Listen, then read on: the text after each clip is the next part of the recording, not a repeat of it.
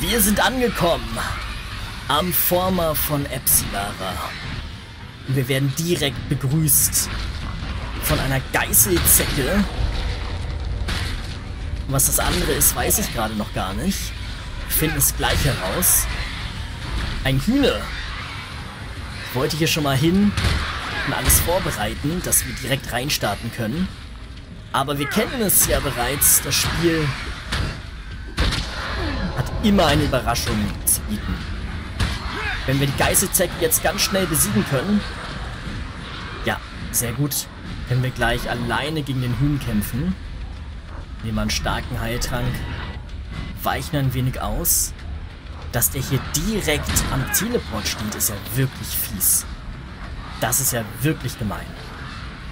Und gegen den Hühn müssen wir, glaube ich, gegen, müssen wir mit Magie kämpfen.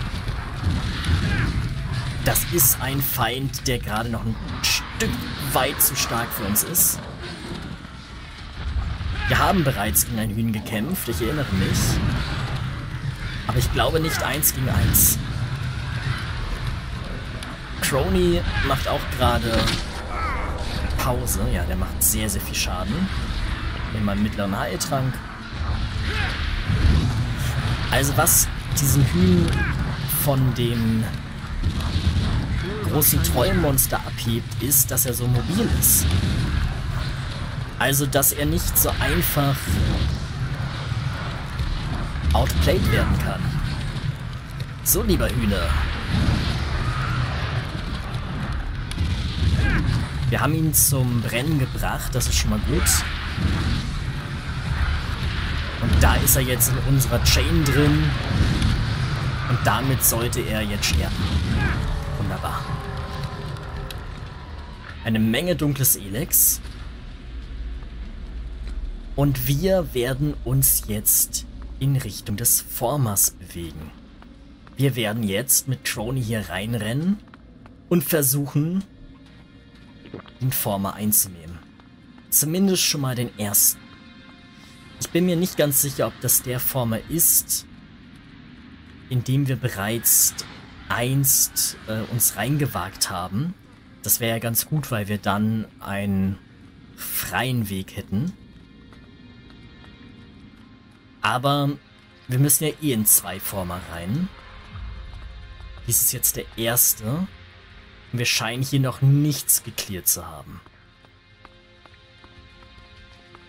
Und wir wussten das ja schon, aber es wird jetzt sehr stark um Magie gehen. Werden viele Tränke nutzen. Seien es Mana-Tränke, seien es Heiltränke.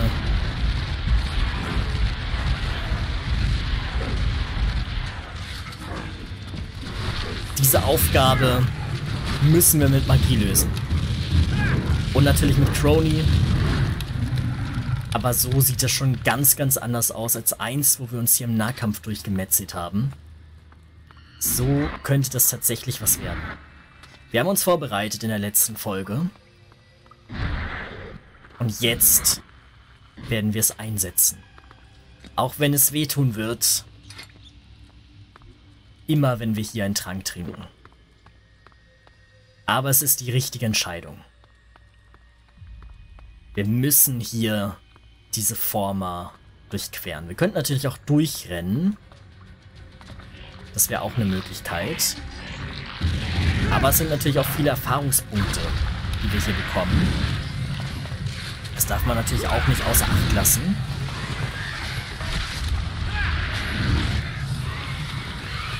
Wollen wir hier nochmal so einen Flammenbogen nutzen? Das könnten wir machen. Das wollte ich nicht. Ich wollte ihn nicht trinken. Aber okay, dann müssen wir jetzt durch. So ein Missklick passiert. Dafür lade ich mich neu. Die Geißelzecke kriegen wir ganz schön gut down. Das ist nicht das Problem.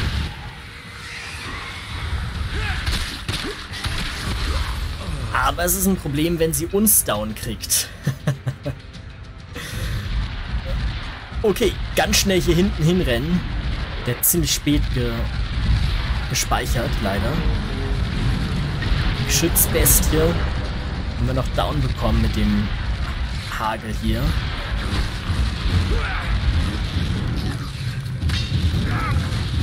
Ja, okay, das ist ärgerlich. Das ist jetzt ärgerlich. Aber da müssen wir durch. Speichern darf man nicht vergessen. Nicht bei Elex 2. Tracker kriegen wir down. Gar kein Problem. So, wir trinken nochmal. Und hier, guckt mal. Hier kriegen wir doch den Mana-Trank wieder und einen starken Heiltrank auch. Es hatte auch was Gutes, dass wir das jetzt nochmal ein zweites Mal erleben müssen. Also, wir nehmen nochmal alles hier mit. Hier, das auch. Wunderbar. Und... Ach, da hinten steht ja noch einer. Wir speichern. Wir trinken mittleren Heiltrank. Wir trinken einen Mana-Trank. Wie konnten wir den denn nicht triggern, bitte? Aber okay. Ich gehe da mit. Kein Problem. Und hier gehen wir jetzt mit dem Feuer hin.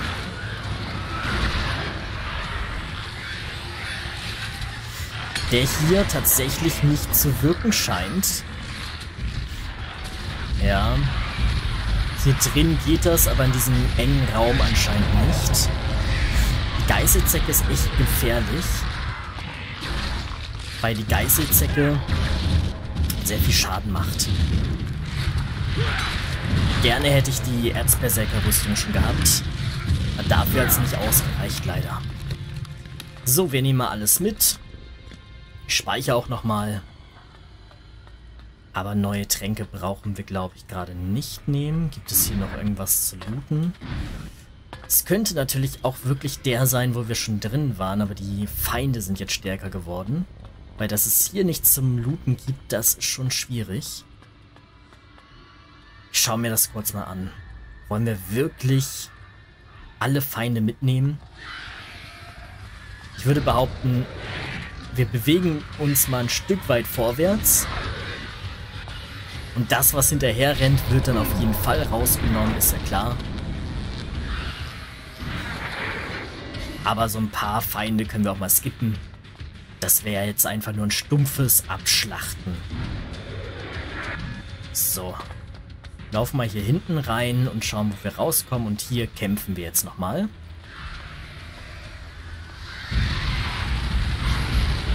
die Geißelzecke wird nicht viel zu lachen haben. Und die hier hinten auch nicht.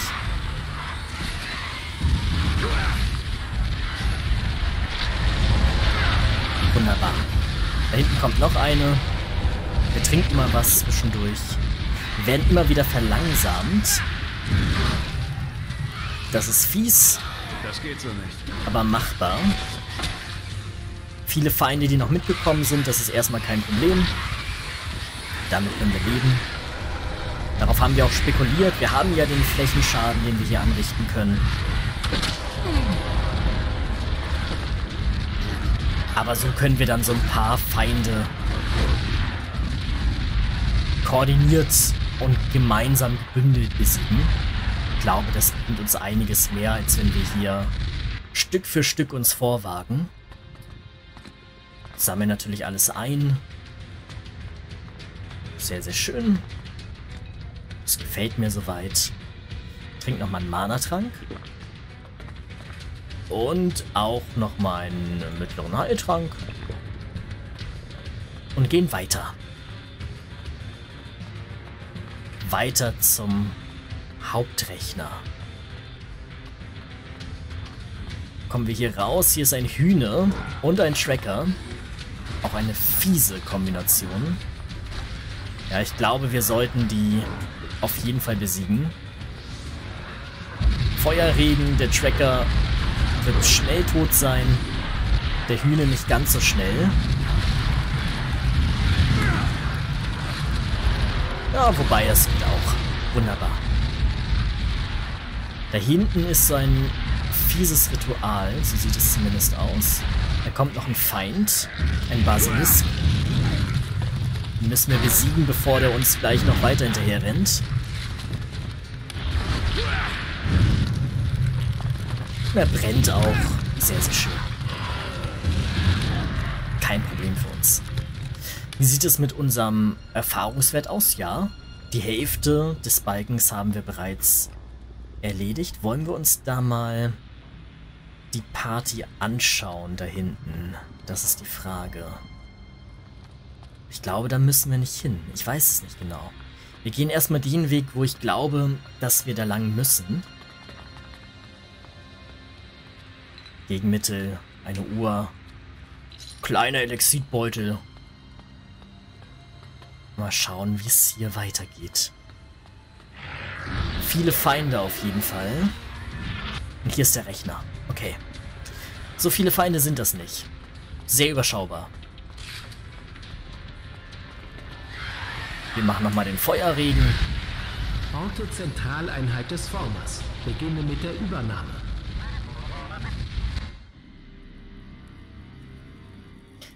Und den hätten wir wahrscheinlich nicht gebraucht. Der Former ist ausgeschaltet. Former Nummer 1. Aus. Verbindung hergestellt. Daten wurden übertragen. Former-Umpolung eingeleitet. Einstellung des Betriebes wird erwartet. Sehr schön. Das war der erste Former, den wir präpariert haben. Positiv. Wie ist es gelaufen? Hast du einige Daten aus dem Zentralrechner extrahieren können? Former-Kontrolleinheit verfügt über eine künstliche Intelligenz, die autark operiert. Ja, das haben wir schon erwartet. Konntest du sie übernehmen? Bei der Übertragung der Schlüsselalgorithmen aus dem Mutterschiff wurde die Kontrolleinheit überschrieben. Übernahme der Kontrolle über operierende Zellen des Formers. Terraforming-Prozess signifikant verlangsamt. Sehr gut. Wadek hat tatsächlich recht behalten. Dann können wir die anderen Former ebenfalls umpolen. Positiv. Wie lange wird es dauern, bis der Terraforming-Prozess bei dem Ding hier komplett zum Erliegen kommt?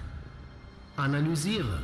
Nur grobe Schätzung möglich aufgrund vieler unsicherer Parameter. Raus damit. Wie lange? 524 Tage und 16 Stunden. Ah, doch so schnell. Das müssen wir beschleunigen.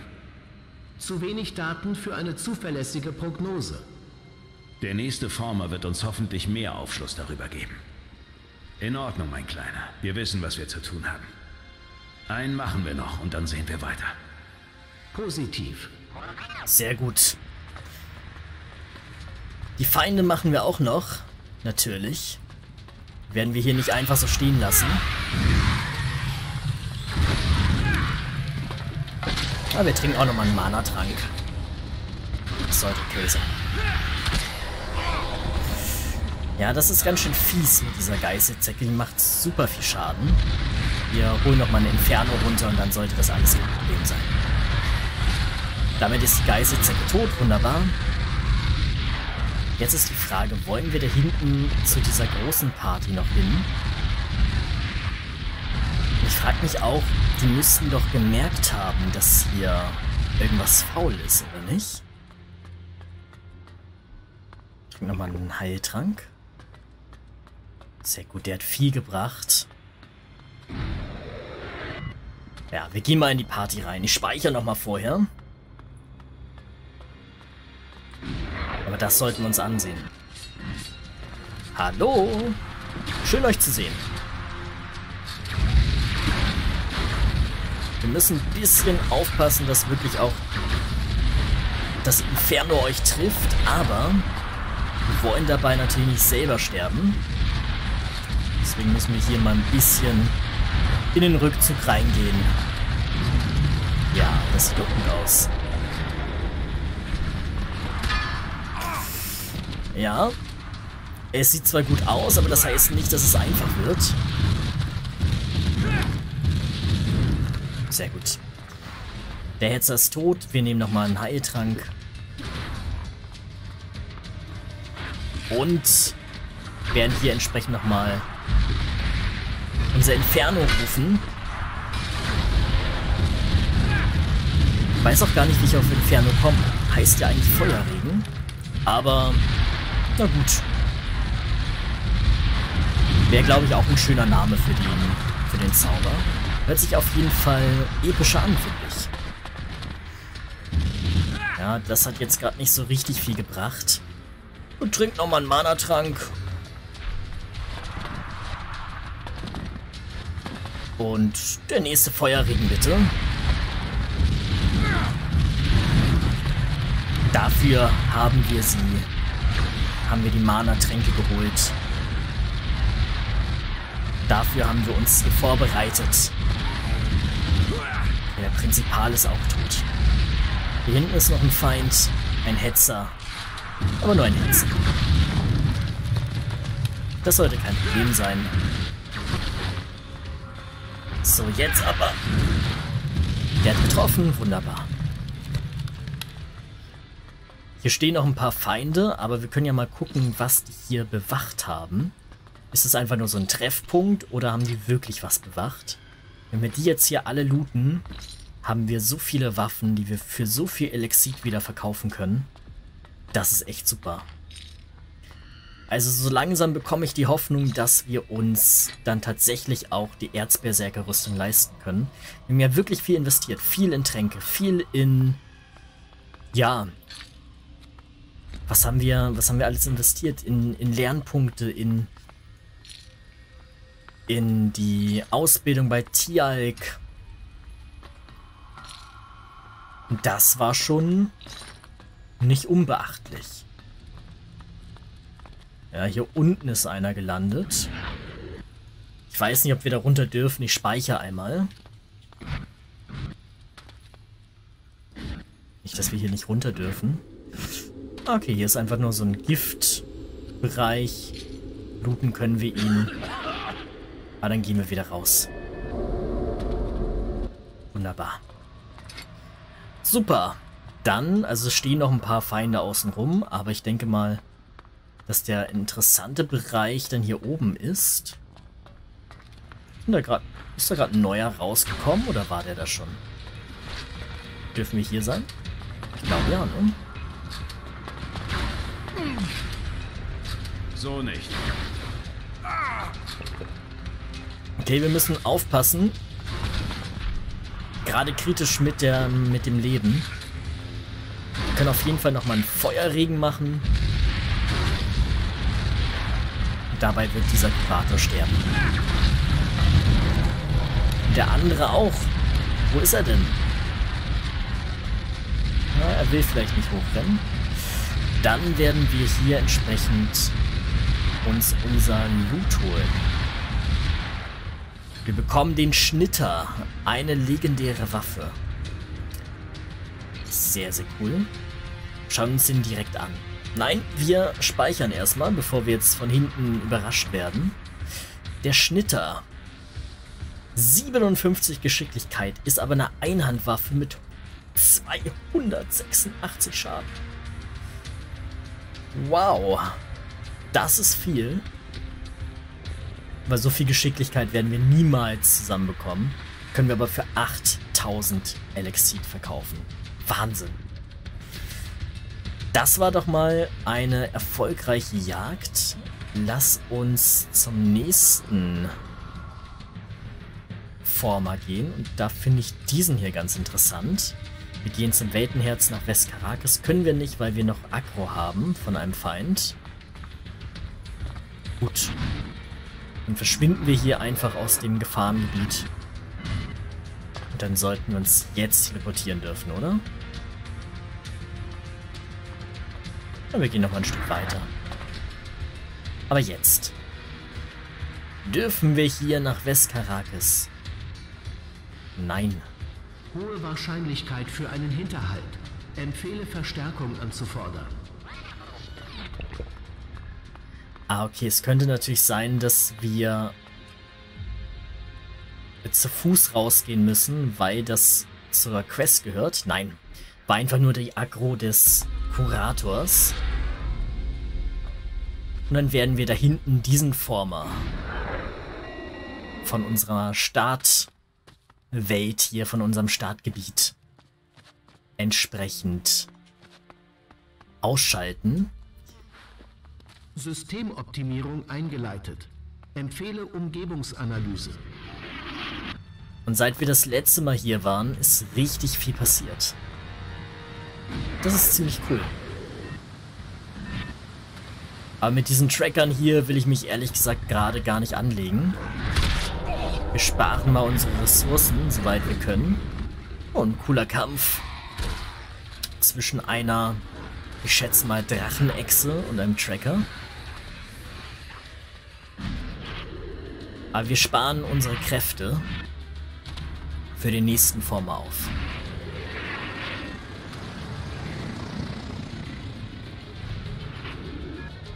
Und hier ist er. Hier ist der Former. Der Former vom Startgebiet. Den ersten, den wir gesehen haben.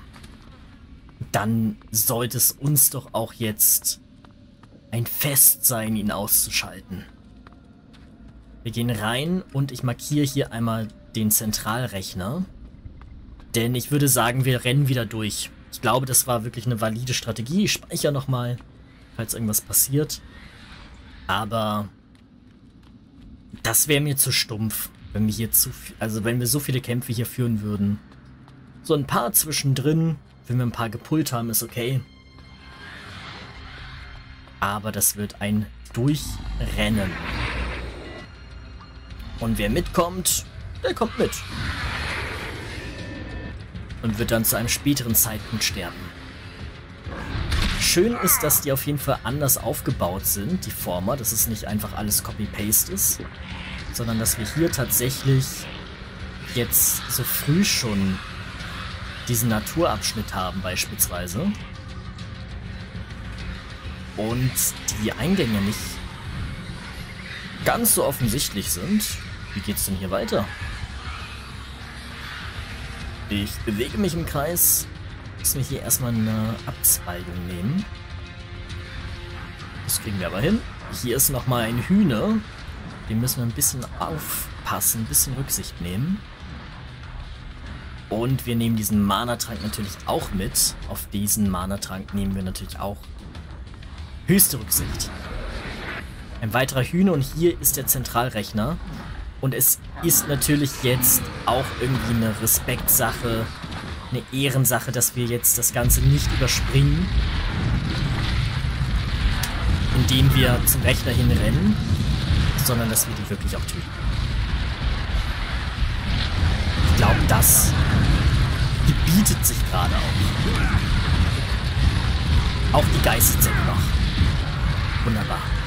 Damit haben wir ein Level Up, sind Level 28. Hinten kommt noch ein Tracker. Der bekommt kein Feuerregen ab. Der wird auf altmodische Magie-Weise getötet.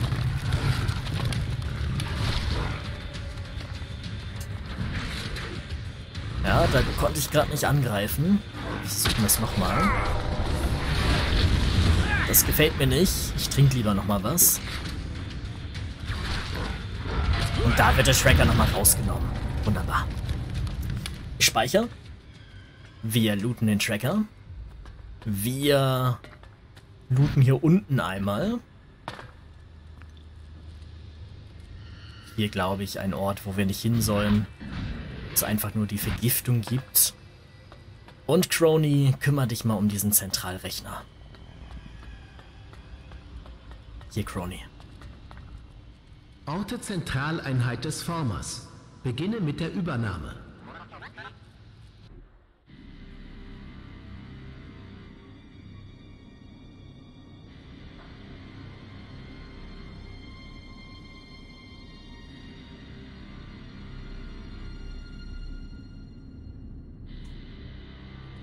Verbindung hergestellt.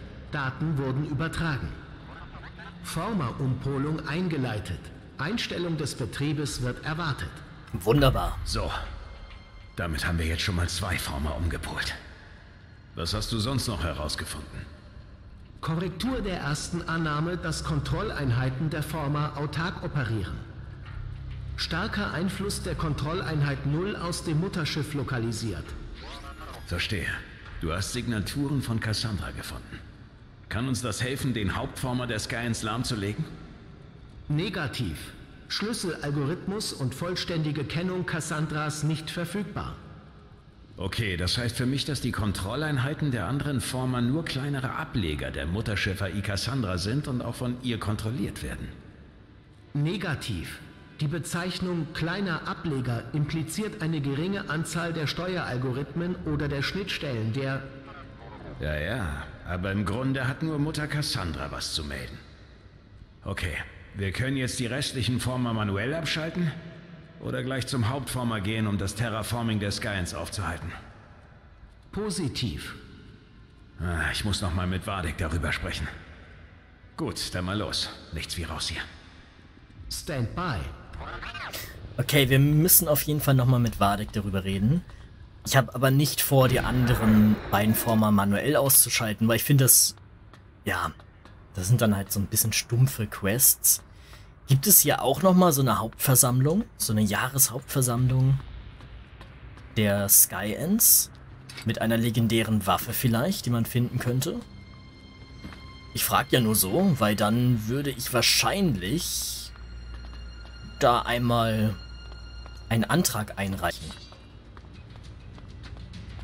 Na komm, ein Abartiger. Willst du wirklich gegen uns kämpfen? Was ist wirklich vor?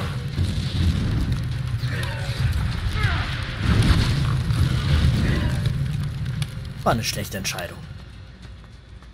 Ja, ich hätte da so einen Antrag einzureichen bei der Jahreshauptversammlung. Ja, die Sache ist, ich habe es natürlich nicht schriftlich vorweg eingereicht. Aber wenn die nicht damit zufrieden sind, ja, dann... Dann werden wir einfach unsere Magie sprechen lassen. Also, ist hier noch so eine Hauptversammlung? Ja. Okay.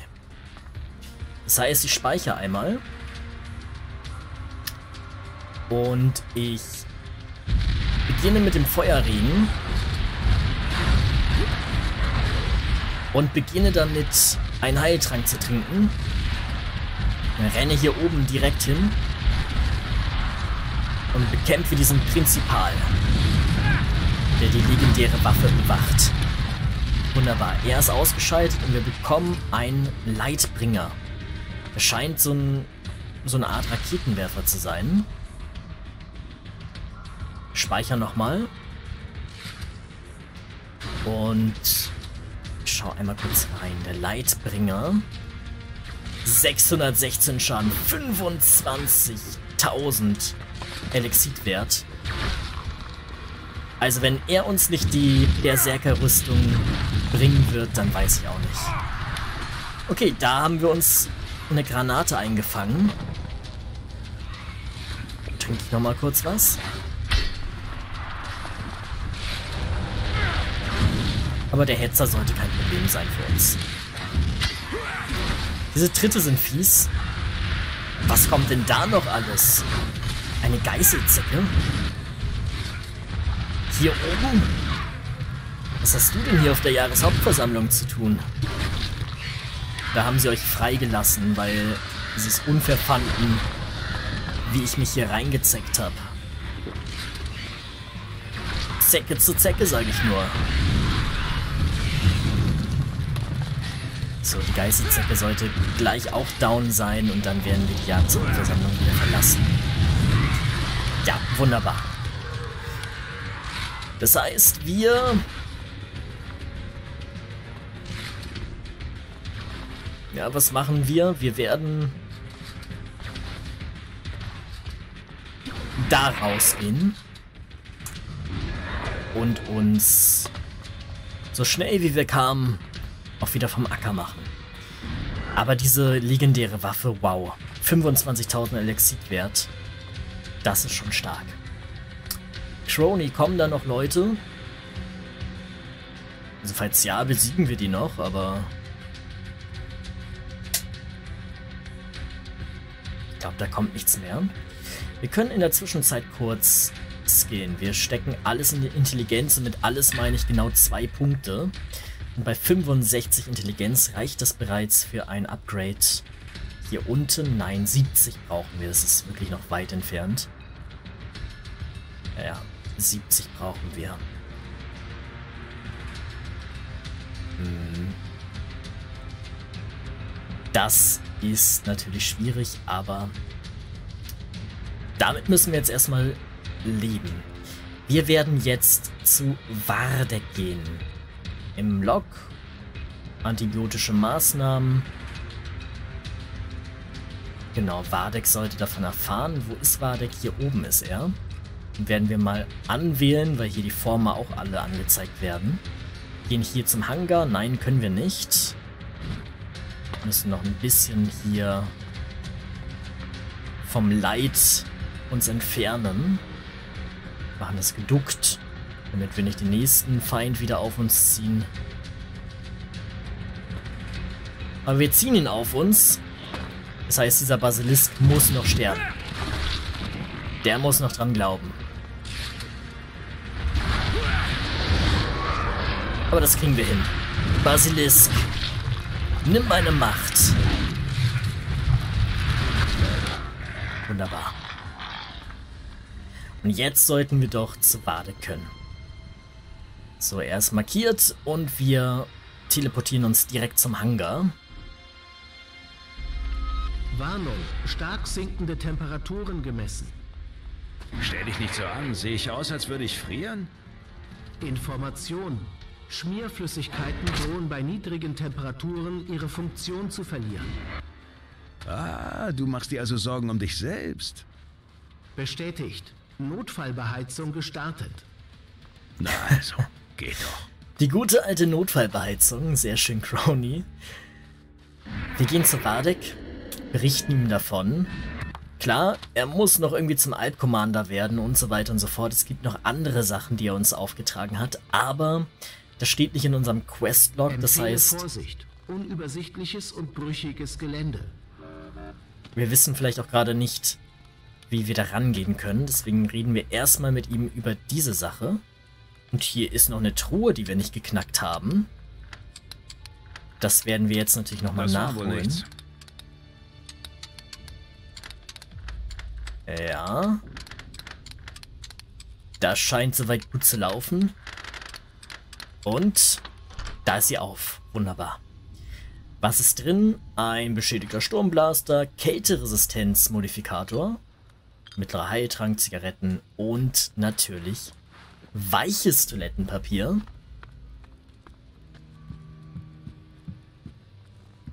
Wadek. Ich war jetzt in den Formern und du hattest recht.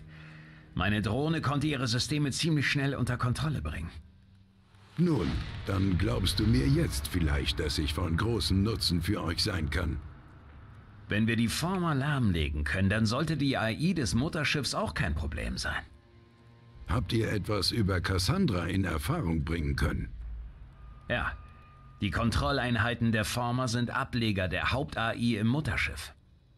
Ich fürchte, dass die sich nicht so einfach mit einem Schlüsselalgorithmus ausschalten lässt. Wenn sie die Urmutter ist, dann kann sie ein paar mehr Dinge als ihre kleinen Ableger. Es ist wahrscheinlicher, dass sie unsere Umpolung auf kurz oder lang registriert und den Terraforming-Prozess der lahmgelegten Former wieder in Gang setzt. Idealerweise sollten wir irgendwie an sie herankommen, ohne in den Hauptformer gehen zu müssen. Dann werden wir den nächsten Former ausschalten. Das kannst du dir sparen. Viel mehr wird deine Drohne nicht herausfinden. Aber wer weiß, Vielleicht wird sich Cassandra irgendwann anderweitig offenbaren. Wir haben sie bereits gesehen. Cassandra hat sich offenbart. Mehr noch. Sie hört uns ab und hat sogar zeitweise meine Drohne übernommen. Tja, die Skyans wissen, wie sie uns auf Trab halten. Cassandra scheint in jeder Maschine zu stecken, die irgendwie mit der Technologie der Skyans in Berührung gekommen ist. Es ist fast wie die Infektion durch das dunkle Elex. Leise, im Hintergrund, aber stetig und mächtig.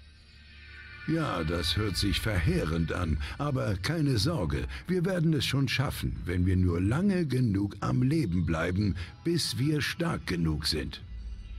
Vielleicht fällt mir ja noch etwas ein. Ich werde darüber nachdenken. Okay, der momentane Stand der Dinge. Okay, hier also der momentane Stand der Dinge. Die Suche nach einem geeigneten Partner für die sechste Macht ist noch nicht abgeschlossen. Da ist noch die Sache mit dir. Du willst deinen alten Rang als Commander bei den Alps wiedererlangen. So ist es. Ich werde darauf bestehen, wenn es soweit ist. Nur weiter so. Ich werde in meinem Versteck auf dich warten, bis du alles erledigt hast. Okay. Wir müssen wachsam bleiben und bereit sein, wenn es soweit ist. Bin ein bisschen verunsichert, wie das jetzt hier weitergehen soll. Wir haben hier den Point of No Return. Hm. Ich kann jetzt die höhere Laufbahn bei meiner Gilde einschlagen. Oder ich gehe doch noch zu den Outlaws. Viele unter den Berserkern sind ehemalige Outlaws, bla bla bla. Das kennen wir bereits, aber wir haben uns ja schon für die Berserker entschieden. Wir sind ja bereits Krieger der Berserker. Aber das ist jetzt unsere Hauptquest. Können wir jetzt eventuell mit Red reden? Denn sonst haben wir keine Quest mehr. Wir haben hier noch die Falk-Quest, die nicht mehr da ist. Die Crony-Quest wird nicht angezeigt und die Vardek-Quests werden auch nicht angezeigt. Und... Ja, da müssen wir mal schauen, wie wir das weitermachen. Wir haben jetzt auf jeden Fall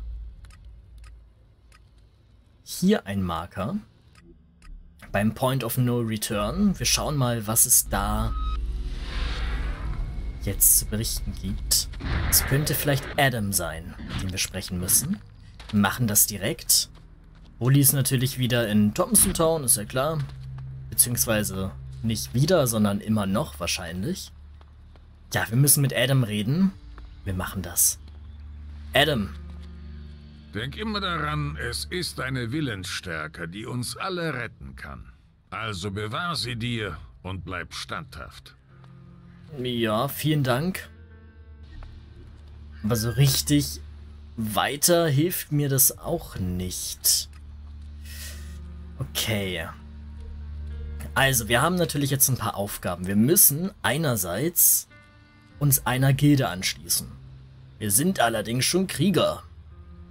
Und wenn wir mit Red sprechen, das haben wir bereits gemacht und versucht, können wir nicht sagen, hey, wir wollen, dass ihr hier die sechste Macht unterstützt. Das ging nicht bisher. Wadek möchte, dass er wieder zum Commander gemacht wird. Wird aber nicht angezeigt hier. Und wir müssen den Hauptformer angreifen oder im besten Fall so da rankommen, ohne in den Hauptformat zu müssen. Aber auch diese Quest wird nicht angezeigt. Ich bin mir gerade ein bisschen unsicher, was wir gerade wirklich noch machen müssen. Also was ist die Mission, die jetzt vor uns liegt? Gefährtenquest können wir nicht machen. Point of No Return wüsste ich nicht, wie wir da weiterkommen. Caracas, das sind hier nur so ein paar kleine Nebenquests, die wir noch haben, aber nichts Großes, auch nichts, wo wir wirklich äh, viel von profitieren würden. Alles Anfangsquest, die jetzt auch nicht viel Erfahrung oder so geben werden. Was ist das, womit wir jetzt weitermachen sollen? Mit wem müssen wir reden? Wir könnten natürlich zu den Alps gehen. Wir könnten bei den Alps uns ein bisschen umhören. Wir haben mit denen kaum geredet. Wir kennen uns da nicht aus. Wir können mal umhören, ob wir für Wardek was finden. Aber so ganz trivial ist es gerade nicht, finde ich. Wir können auch mal mit Red reden, ob es jetzt eine andere Möglichkeit gibt. Aber falls es keine andere Möglichkeit gibt, dann brauche ich entweder eure Hilfe oder ich muss selber mal nachschauen und mich spoilern lassen, wie es denn jetzt weitergehen sollte. Red. Also wir könnten natürlich, es könnte natürlich sein, dass wir unbedingt Stufe 30 erreichen müssen, damit wir dann Erzberserker werden. Das könnten wir machen, indem wir viel schnetzeln in den Formern. Das ist aber nichts, was ich eigentlich vorhätte. Ja, der Hauptformer, ich weiß nicht, wo der ist. Ich weiß nicht, wo... Der wird auch nicht angezeigt. Point of No Return, weiß ich nicht, wie wir das machen sollen. Wie entscheiden wir uns für eine Seite? Ich dachte, wir hätten das eigentlich mit dem, mit dem Kriegerwerden schon entschieden. Ja, und die Fall-Quest geht auch nicht weiter. Ich brauche eure Hilfe. Könnt ihr mir helfen?